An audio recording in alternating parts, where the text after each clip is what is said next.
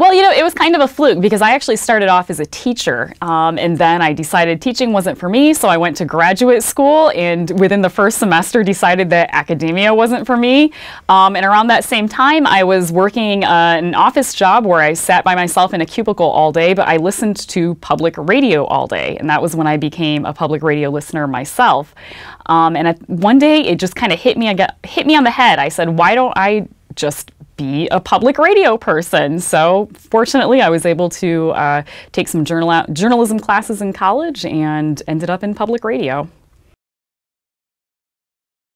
A former host, um, I, I, I, knew one of the, uh, I knew a former host uh, during, when I was a student at Michigan State and I contacted her and got an internship and the rest is history.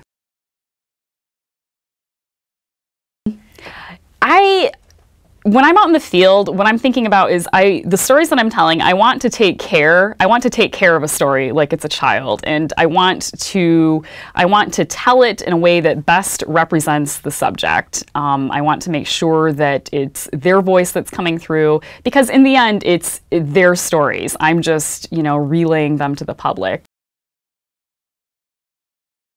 I actually interviewed the man who owns the runs the funeral home in my hometown, and that's probably my favorite story that I've done. It was really short and simple, um, but I really thought that it sort of reflected the heart of a small town, which involves, you know, not only the the citizens who are currently there, but the citizens who have who have passed through and gone on.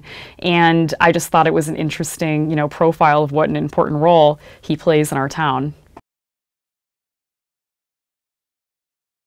When they named a new pope, the smoke went up. You know, they show the, the video of the smoke going up, and I was instantly pushed out onto the streets of Chicago, thrown in a cab, and I had to ride across town to a Catholic school before, you know, this classroom in a Catholic school before they announced who the Pope was going to be so I could get that reaction. And then I had to get back to the studio as quickly as I could to file a story for the afternoon news. So, I mean, I, that's kind of typical, though. We do that a lot.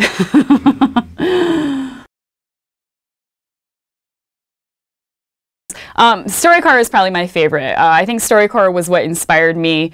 Um, honestly to start doing this kind of work because I it is simple, it is stripped down, it is just simply people telling their stories.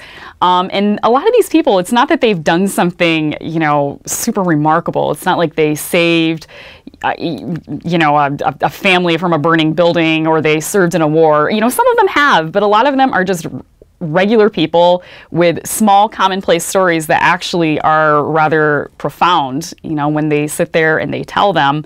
Um, and I just, I, I love the way that StoryCorps brings that, brings that out in people.